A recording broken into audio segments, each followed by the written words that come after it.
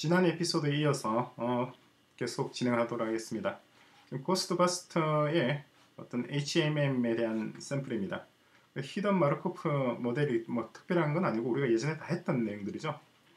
새로운 정보가 있으면 그에 따라서 값을 갱신하는 겁니다. 지금 x1에서부터 x2, x3, x4로 값이 갱신되고 있는데 지금 현재 x1이라고 하는 상, 상태이고 어, 이, 이 값이 변경되는 경우는 두 가지라고 했었죠. 우리가 예전에 어떤 경우에 변경된다고 했었나요?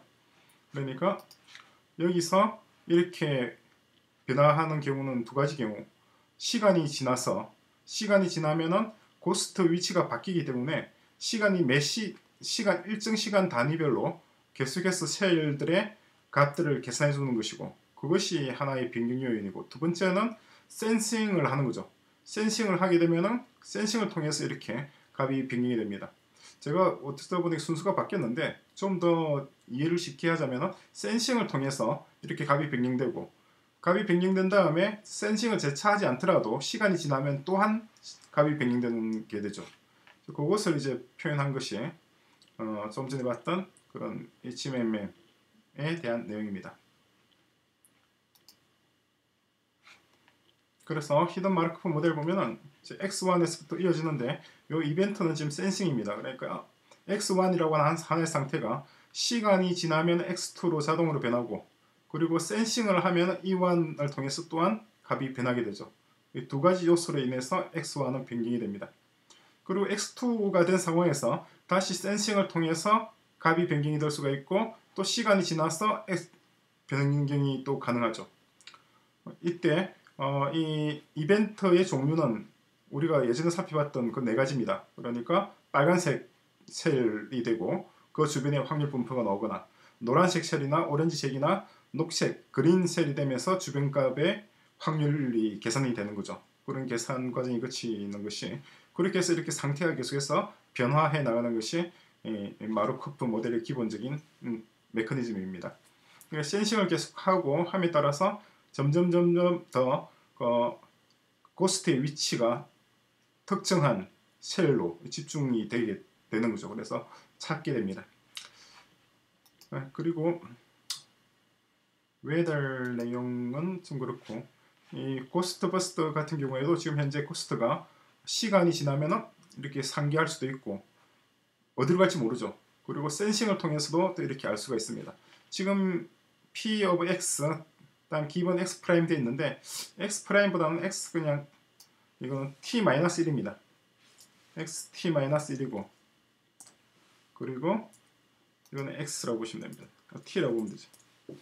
T 마이너스 1이 주어진 상황에서 XT로 변하는 것 그것은 이것이 있으면 시간이 지나면 자연스럽게 변하게 되죠. 초기값은 일단 이렇게 되어 있습니다.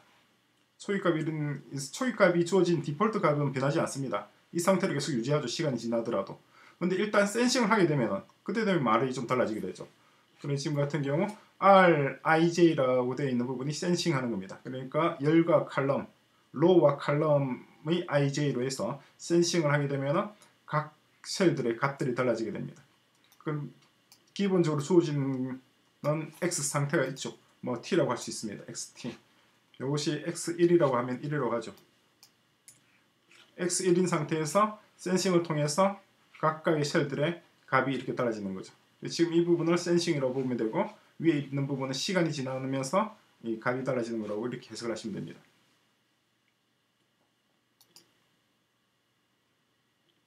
그래서 우리가 좀 살펴볼 이제 개념들이 몇 가지가 있는데 어, 그 전에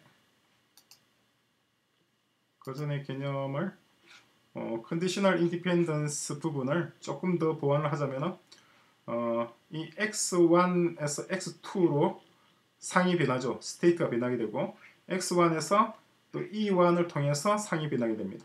그죠? 그런데 우리가 지금 상이 변하는 것은 이 sensing은 상으로 지금 하지 않고 이벤트로만 빼놓은 겁니다. 그러니까 이것은 상 state로 생각하지 말고 그냥 이벤트로 이벤트가 주어지는 거죠. 이벤트를 통해서 어떤 뭐 빨간색, 파란색, 노란색 그리고 오렌지 색깔의 셀 테두리가 변하면서 주변의 그 색상을 우리가 금, 금지하게 되는 그런 사건으로 그냥 고려를 합시다. 추상적이죠, 상당히. 그러기 위해서 이제 x1에서 x2, x3, x4로 진행되는 과정에서 시간적 요소와 이벤트적 요소, 그 센싱에 의한 요소에 의해서 어, 전개되는 겁니다. 근데 우리가 주의해야 될 점이 화살표의 방향입니다. 이 화살표를 보게 되면은 금방 우리 알 수 있는 게 있죠. 떠오르는 게 뭐냐니까 이 부분만 보십시오. 삼각형 x1, x2, e1 이 세 개만 딱 보시면은 바로 그림이 그려지죠. 마르코 마르코프 바로 예전에 어, Bayes net 할 때도 이걸 좀 했었고 어, 서로 간에 이제 conditional dependence 그래프가 딱 나오잖아요.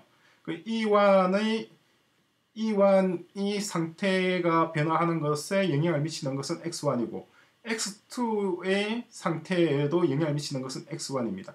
X1이 기본적인 prior가 되고 그리고 X2와 E1이 posterior 되는데 E1과 X2는 서로 간에 상관관계가 있죠. X2의 모습과 그리고 E1의 모습.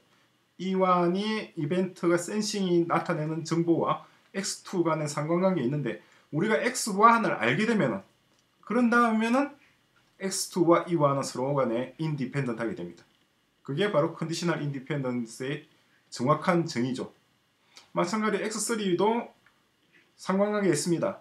X2와도 상관이 있고 X1도 상관이 있고 그리고 X1에 상관이 있는 E1과도 상관이 있고 E2와도 상관이 있죠. X3와 나머지 4개는 서로 상관관계가 있습니다. 그런데 우리가 X2를 알게 되면 지금 화살표 방향을 보면 은 X2를 알게 되면 은 그 이전에 있는 X1, E1, E2와 X3는 서로 간 상호 독립적으로 되죠. 그죠? 이게 가장 기본적인 마르코프의 property에 대한 속성에 대한 정의입니다. X4도 마찬가지 이렇게 이어지는 거죠. 그것이 이제 conditional independence입니다. 그래 마르코프 hidden process라고 하는 것은 어, 미래라고 하는 것은 현재를 통해서만 서로 연결된다는 거죠. 그러니까 X3는 X2에 의해서 X1, E1, E2와 서로 간의 관계를 가지게 되는 거죠. 근데 우리가 X2를 모른다면은 서로 간에 확률적으로 서로 간의 값들이 상호 관련되게 되지만 은 X2를 알게 된다면 은 X2가 지워진다면 은 나머지 것들과는 서로 간에 관계 없게 됩니다. 이게 왜 중요하냐니까 이렇게 우리가 논리적 구조를 시험으로 해서 어, 그 다음부터 굉장히 복잡한 식들이 단순하게 됩니다. 그러니까 고스트의 위치를 파악하는 메커니즘이 우리가 이제 고스트 위치를 다 평가하고 수치를 계산해내야 될 거 아니에요. 그 알고리즘이 굉장히 단순하게 되는 거죠.